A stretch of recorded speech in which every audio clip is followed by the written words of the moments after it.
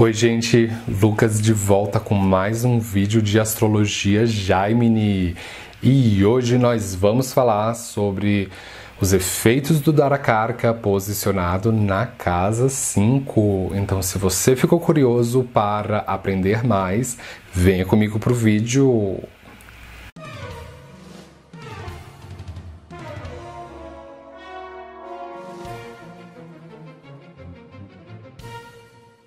Na astrologia Jaimini, o Darakarka significa o indicador do seu cônjuge. Dara em sânscrito significa cônjuge e Karka é indicador. Então, quando nós juntamos a expressão Dara Karka, significa o indicador do seu cônjuge, é o destino da sua vida amorosa. O que, que te aguarda no amor para esta vida? É a personalidade do seu cônjuge, a disposição física dele. E o que você acha atraente no cônjuge, o que você busca no casamento. Quando se fala sobre vida amorosa, as pessoas pensam que eu estou falando da posição do Darakarka no mapa Navamsha e eu não estou falando do mapa Navamsha, eu estou falando da posição do Darakarka posicionado na casa 5 do seu mapa natal, que é conhecido também como mapa Rashi, ou divisional 1, ou harmônico 1, ou simplesmente D1. E pode ser qualquer um dos oito planetas, o seu Darakarka, desde os luminares como o Sol ou a Lua, as estrelas vagantes, Mercúrio, Vênus, Júpiter ou Saturno ou até mesmo o nó do norte da Lua, o Rahu, pode ser qualquer um destes que eu falei. Mas nesse vídeo eu não vou focar nos efeitos de cada um desses planetas na casa 5, mas sim o que o Darakarka produz em si e puramente na casa 5. E um, embora você possa ter o seu Darakarka ocupando o quinto signo contado a partir do seu ascendente não significa necessariamente que ele vai estar na casa 5. Porque para você sentir o Darakarka afetando a sua casa 5, você precisa ter o Darakarka na cúspide da casa 5. E como você resolve isso? Você tem que verificar o mapa Bhava Chalit da, do seu mapa natal. Porque o mapa Bava ele tem a função de medir as cúspides da, das, das casas. Então, é por este mapa que você vê se o seu Darakarka está de fato na cúspide da casa 5. E um, o conceito de Darakarka ele se aplica única e exclusivamente para a astrologia sideral, porque o Darakarka é o astro que ocupa o grau mais baixo em longitude de acordo com o zodíaco sideral. Então, essa aula não serve para astrologia tropical. E dentro da astrologia sideral, essa posição ela se aplica única e exclusivamente para o seu Darakarka, calculado de acordo com a Ayanamsha, centro galáctico zero grau de Sagitário. É muito específico a instrução que eu estou dando para você. Então, se você está calculando seu Darakarka de acordo com a Ayanam Shalahiri, eu vou pedir para você desligar esse vídeo e sair. Esse vídeo não é para você. Esse vídeo é apenas para quem tem o Darakarka na cúspide da casa 5, calculado pela Ayanamsha Centro Galáctico 0 grau de Sagitário. Então, se você não conseguiu dar conta das orientações técnicas, se você achou muito pesado, não precisa se desesperar. Eu tenho um tutorial que ajuda você a calcular o seu Darakarka. Então, se você não conhece esse tutorial, vou deixar um link aqui na descrição do vídeo que ele vai te direcionar para um outro vídeo em que lá eu ensino o passo a passo de como você calcular isso que eu estou falando. Aqui na capa tem escrito os oito carcas. Então você acessa esse link, é um convite para você acessar esse link e aí vai ensinar você a como encontrar a sua sequência dos oito carcas, ou como o Jaime chama, charakarkas, que são os indicadores móveis, e você vai encontrar o seu darakarka. uma vez que você encontrar, você volta aqui que a gente pode dar continuidade ao vídeo.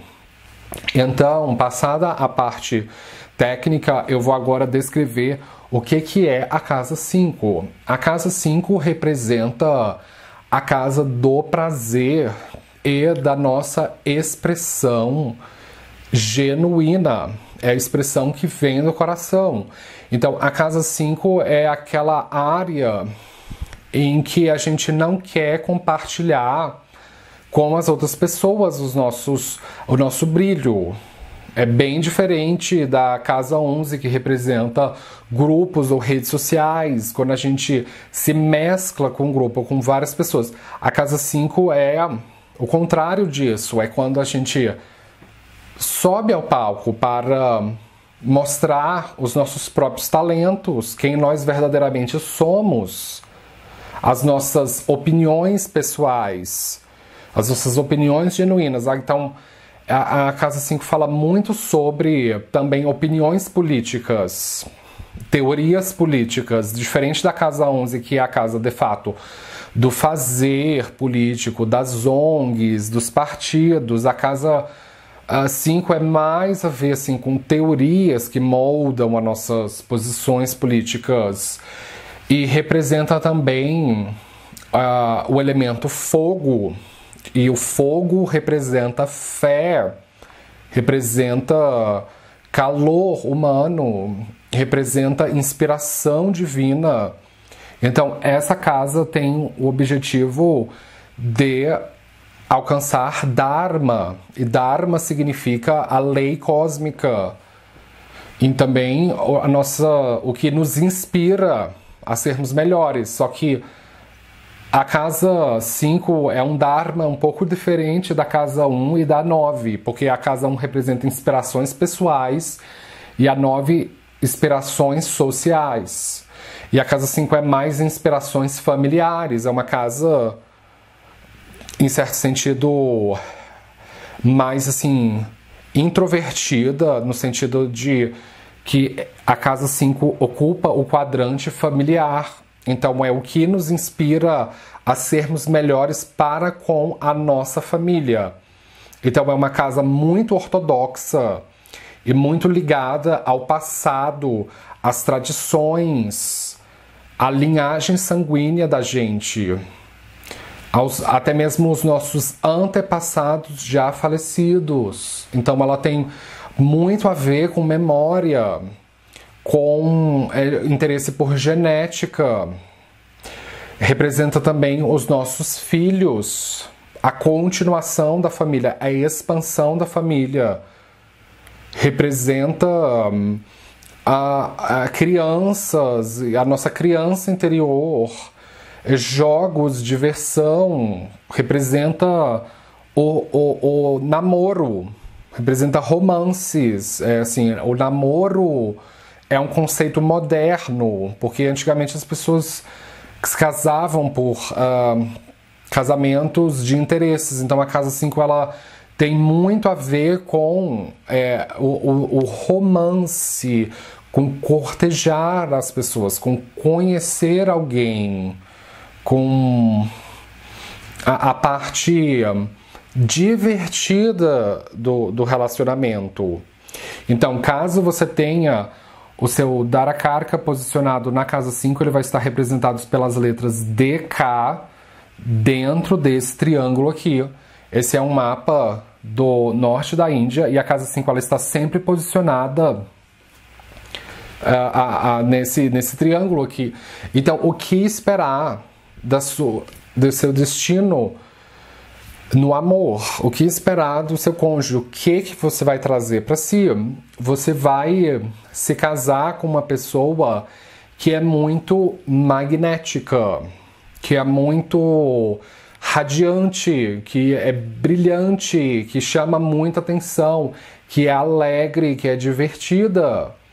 Então, uh, o seu cônjuge vai ser o centro da sua vida, ele vai ser o centro das atenções e ele é alguém de coração muito quente, de muito um coração muito grande, generoso e positivo, é uma pessoa que não gosta de negatividade. Então, o relacionamento vai ser um estímulo para você ser uma pessoa melhor. Porque a casa 5 representa também os nossos créditos kármicos de vidas passadas. Então, qualquer planeta posicionado dentro da casa 5 é abençoado. Então, você é uma pessoa abençoada em relacionamentos, mas você deve verificar qual é o, o estilo de planeta que está é, ocupando o posto de Darakarka, que ele vai dar algumas implicações mais peculiares, certo? Mas assim, em uh, linhas gerais, a posição do Darakarka na 5 em si é uma posição que ela fala de alguém que é privilegiado no amor. Então você vai um, é, se casar com uma pessoa que é privilegiada. E, assim, muito provavelmente uma pessoa que é invejada, que é cobiçada. O seu cônjuge vai ser uma pessoa cobiçada pela, uh, por outras pessoas assim, que querem a mesma coisa. E um, o cônjuge vai ser uma pessoa, na via negativa, um pouco vaidosa e autocrático, de não querer. Um, um, de, não, de não querer assim ceder ou mesmo não é tão democrático, pode ser um, uma pessoa um pouco dominadora, é, de que é assim o centro das atenções na vida doméstica. Então assim muito da sua vida doméstica pode assim girar em torno do de, desse cônjuge, porque a, a casa 5 ela é uma casa fixa também. Então, qualquer planeta que vai numa casa, numa casa fixa, a personalidade do cônjuge é fixa, não tende a não querer mudar. Então, por a casa 5 ser uma casa de fé e de dharma, o que o seu cônjuge acredita os valores que ele segue, a religião, as visões políticas dele, dificilmente ele vai mudar. O que ele é, é o que ele é. Então, um, espere pouca mudança, pouca flexibilidade. É um cônjuge que ele é ideologicamente inflexível. Então, é mais fácil de você se um, adaptar a ele ou a ela do que o contrário. Esse cônjuge vai ser alguém que não gosta de fazer coisas chatas. Ele não gosta de fazer assim tarefas domésticas ou até mesmo assim de trabalhar, de preferência vai querer trabalhar com alguma coisa que é divertida ou criativa ou artística ou estética e então é uma pessoa assim que não gosta de rotina muito, assim, de fazer coisas é, chatinhas e idiosincrasias de rotina ele não vai querer fazer.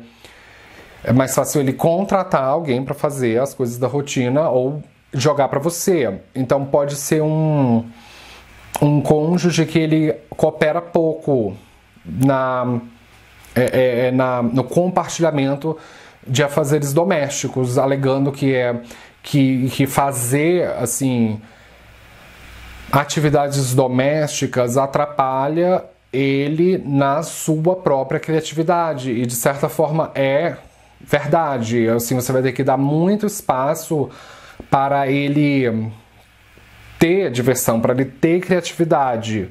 Porque se ele não tiver essa dose de diversão, ele pode se desinteressar do relacionamento. Então, é muito comum dar a carga na casa 5 a, a, a relação ela não evoluir tanto para um casamento, assim, para uma relação assim que requeira mais responsabilidade e compromisso. O cônjuge pode querer ficar adiando casamento e ficar só no namoro, porque o namoro ele é mais flexível, ele é mais divertido, ele não é tão sério, ele é mais assim, é, tem menos responsabilidades. Então é, é, o cônjuge ele pode ser inclusive um pouco preguiçoso também. assim, de não querer é, se movimentar muito. Porque, como eu falei, é uma casa fixa. Então, o cônjuge ele não vai querer se movimentar muito pela casa. Pode ser que ele queira uma cama muito confortável, uma cama de casal para vocês, ficar muito tempo na cama, não querer se levantar, querer ficar no sofá. Então, assim, você vai precisar estimulá-lo, às vezes, a querer se movimentar mais. É, o, o, o, sexo desse um, cônjuge vai ser muito generoso. É uma pessoa assim que tem muita potência e muita virilidade, porque a casa 5 ela rege virilidade, rege potência sexual, porque é nessa casa onde os filhos são feitos. Então ela é uma casa de sexo também, então ela é uma casa conduzente para as coisas que o Darakarka quer, que é relacionamento. Então é um cônjuge que é muito que é muito tórrido, que é um amante tórrido, que pode ser muito assim, é, muito bom namorado, um bom uma boa namorada, de gostar muito de beijar, de gostar muito de sexo, uh, de gostar assim de várias sessões de sexo. Uh, é, é, é alguém que é criativo no sexo, mas é uma pessoa assim que é muito ortodoxa no sexo, que não gosta muito de um, coisas muito tabus ou bizarras no sexo. É uma pessoa assim que é mais é, ortodoxa. Então, ao mesmo tempo que ele é muito sexual, mas ele é muito respeitoso também dos limites, dos seus limites na cama. Então ele vai esperar esse respeito de volta. E um, é, um, esse cônjuge ele vai gostar muito de repetição. Então, assim, quando o sexo há o encaixe, ele não vai querer mudar o jeito de fazer sexo. Na verdade, tudo que traz prazer e alegria para ele, ele não vai querer mudar. Então, assim, os filmes, as músicas, ele tende a ser muito previsível. Então, assim, uma vez que você entende o que o agrada e você mantiver o combate daquilo ali, para ele tá bom. Então, assim, essa é uma posição que causa muita intolerância a mudanças. Ele não vai querer mudanças. Isso pode incomodá-lo. Porque isso tira ele da, do controle da rotina e isso pode bagunçar a criatividade dele. Então, assim, é, procure não mudar muito, assim, procure não fazer muitas coisas inusitadas, não. Essa, essa é uma posição, assim, muito ortodoxa pro, pro cônjuge. Ele não gosta de coisas estranhas ou, assim, negativamente surpresas. o cônjuge, ele vai ter muito interesse por genética e, assim, é, ele vai é, escolher você muito por causa da genética, porque ele gosta da sua genética e você também. É, você se interessa muito pela questão da genética, então existem certos traços genéticos que você valoriza e você é, escolhe um parceiro muito pelos traços genéticos, porque essa casa é muito focada em reprodução e em filhos. Então, muito da escolha de relacionamento vai ser assim: eu quero um bom gene para passar para os meus filhos.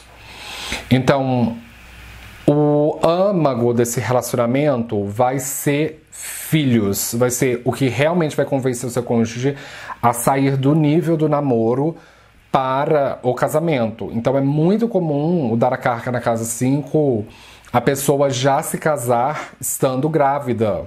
Assim, estou me casando só porque estou grávida. Então, depois que o filho nasce, o foco central da relação passa a ser o filho. E hum, essa é uma posição que hum, traz um cônjuge que gosta muito de criança. Então, assim, você não gostar de crianças pode ser uma coisa que ou afugente ou assim, você tem um comportamento rabugento, um, um, comportamento assim sem senso de humor. Uma pessoa, se você não gosta de jogos, se você não gosta, se você não tem senso de humor, se você não gosta de esportes, de diversão, se você é uma pessoa que está o tempo inteiro reclamando, é, é muito provável que ele nem queira se casar com você. Então, assim, é, gostar de criança, gostar de é, ser alegre, ser feliz, é muito importante para o seu cônjuge, para a relação evoluir. E o cônjuge ele vai ser muito ligado em destruir negatividades na sua vida. Então é uma pessoa que vai te ajudar muito a destruir negatividades, assim, de se você tem algum mau hábito, o seu cônjuge ele vai te pegar muito no seu pé em relação àquilo. Se você, por exemplo, fuma, ele vai ficar enchendo o seu saco pra, até você largar o cigarro. Se você tem assim maus hábitos de higiene, ele vai tentar corrigir isso em você. Assim como ele pode melhorar você. É um cônjuge que ele é muito exigente, porque ele é, se acha de alto nível. Então ele vai querer uma, algo que esteja à altura dele. Então ele vai tentar melhorar você. É, essa é uma posição também é, muito assim nobre para se ter é, o dar a carca. Então assim o, o cônjuge pode ser uma pessoa assim literalmente da nobreza ou assim de uma nobreza decadente ou que não existe mais, ou de viver como se fosse da nobreza, como se fosse é, solene da realeza. Então, um, é, o seu cônjuge ele pode inclusive se destacar mais assim do que você, ou querer é, querer assim ser o, o foco uh, da atenção na sua vida. Então, assim, a, a única coisa que um, a, pode é, atrapalhar esse relacionamento é justamente um, deixar a criança morrer, a alegria morrer. Então, sempre um, traga é, a sua criança interior para este relacionamento. Não, não seja negativo e não o critique, ele é muito, vai ser, você vai atrair uma pessoa que é muito sensível à crítica também. E o cônjuge vai ser uma pessoa muito espiritual e pode ser que ele seja ligado em práticas espirituais, como yoga, mantras, ou que estude alguma tradição é, sagrada, alguma tradição renomada. Então, uh, estudos de astrologia, de autoajuda, de autoconhecimento. Então o, o cônjuge ele pode trazer um pouco de espiritualidade e de, e de querer que você acompanhe ele nessas buscas espirituais. É, opiniões políticas vai ser uma coisa muito importante para ele também. Então, uma outra coisa que pode prejudicar essa relação é quando vocês têm opiniões políticas que divergem demais. Lógico, é impossível a gente se relacionar com uma pessoa que vai concordar 100% das vezes com a gente, mas assim, é importante que vocês tenham uma boa dose de compatibilidade ideológica, porque assim, se houver muita divergência ideológica em questões de política, em questões de religião ou de espiritualidade, isso pode ser também um outro motivo de uma separação, tá certo? Então, assim, de maneira geral, essa é uma posição assim muito conduzente para as coisas do Aracarca, verdadeiramente traz um, um cônjuge muito magnético, muito libidinoso, muito potente, muito ortodoxo, generoso e nobre, tá certo? Então, com isso, eu gostaria de fechar. Se você é novo aqui no canal, não esqueça de se inscrever, de dar um joinha embaixo da tela. Eu posto vídeo de astrologia todos os dias e seja sempre ligado para você não perder nada. Muito obrigado pela atenção e nos vemos na próxima. Tchau!